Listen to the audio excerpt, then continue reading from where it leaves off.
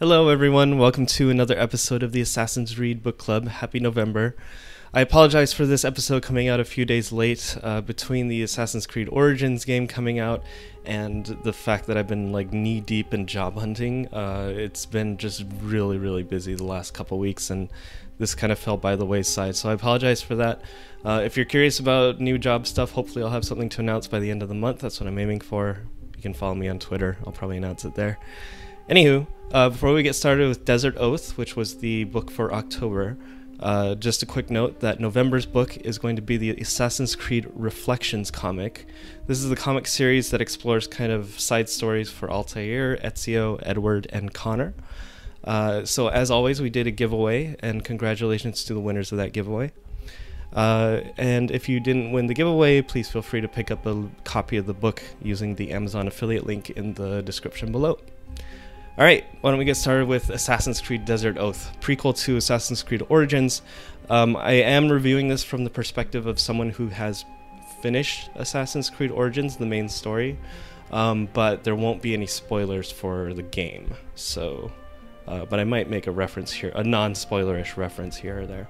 Um, so things I liked, um, I really liked the way that they portrayed Bayek's relationship with his father, um, and kind of uh, the explanation of the Medjay values and how you kind of really get a sense of um, what the Medjay are uh, there for and what Bayek's destiny kind of is. I'm trying to come up with the right words for this, but I think they did a pretty good job of establishing um, like the set of values that they follow and the ones that Bayek has to embody going into the events of Origins.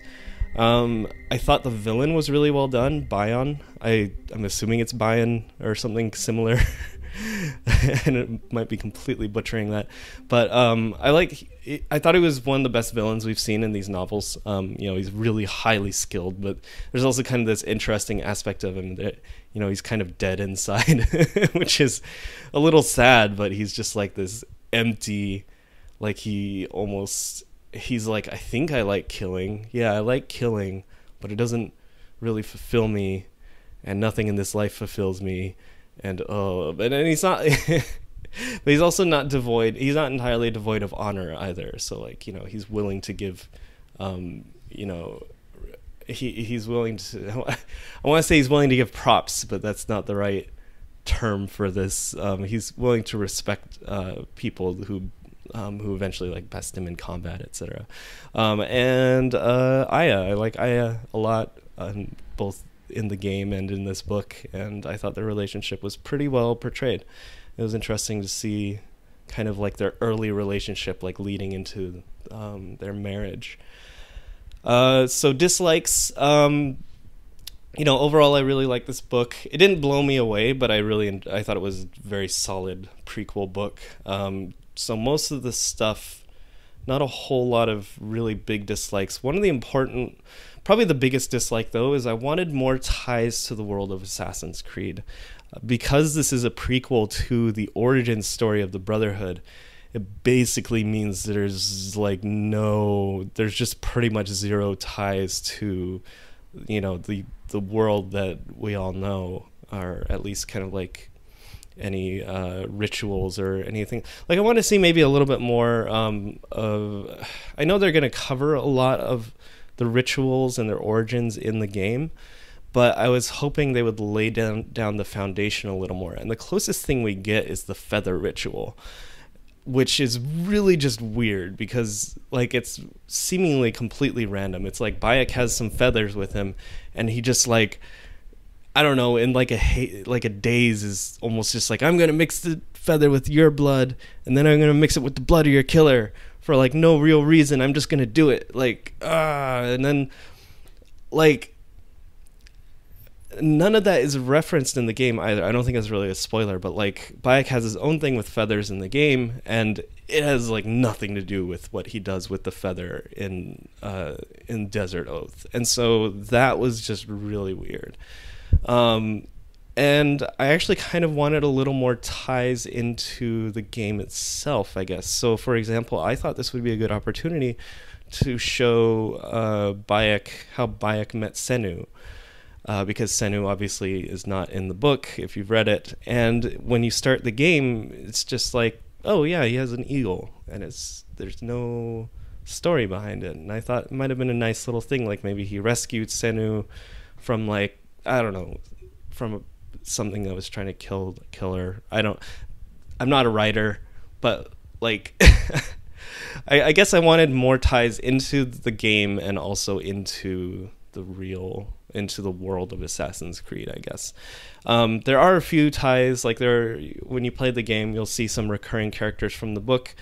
Um, there's a dislike I have that's not really Desert Oath dislike. It's like a game dislike, but there's one character whose portrayal starts off consistent with Origins, but then, and I'm saying this trying not to do any spoilers, but starts off consistent with their portrayal in Origins, but then kind of doesn't really align with how you know the character. I feel like, and I was a little sad about that. Um, but I think that's pretty much going to cover it. Oh, I guess the other thing is that there are a few typos, like maybe like half a dozen typos I found, and that's generally maybe about twice as many as I would expect for a book like this. Um, and I don't know. I Heresy was the other book that had a significant number of typos in it. So there's something in that pipeline that's just not really uh, needs, uh, in my opinion, needs to be like tightened up a little bit. One of my favorite typos in this book was uh, was a moment where they used um, the term uh, where they were going to where they meant to use the term impotent rage, but instead they used important rage, and it kind of just made the f- sentence really funny to me. I don't know. I just I get amused by things like that. Okay. Anyway, let me know what you guys think about Desert Oath. Uh, you know, like I said, I largely enjoyed it. I thought it was a pretty good prequel book, um, with a few quibbles. Uh, before we end the video, uh, highlights from last week's, not last week, last month's uh, Assassin's Creed video. This was covering Assassin's Creed Uprising Volume 1. Uh, I like this comment from Trees All Over, and I'm kind of heavily excerpting it because it was a long comment, which is good. But um, the main point I wanted to grab from it, this is talking about kind of like the superhero tone that Uprising has, and like the really kind of really action movie kind of Marvel Cinematic Universe feel it has to it.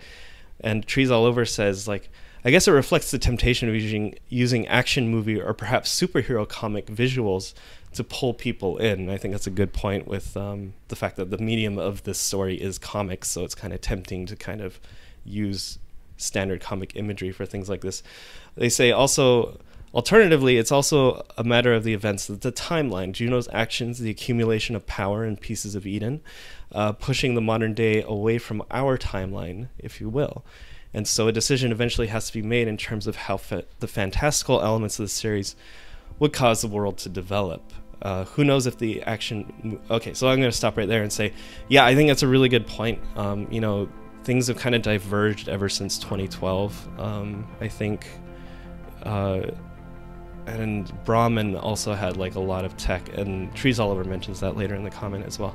Um, yeah, I think it's a good point. I think the modern day is kind of diverging a lot more from our timeline uh, than it has in the past. And so I guess, yeah, it would be nice if. Um, I guess they're kind of just trying to settle on how much it can diverge.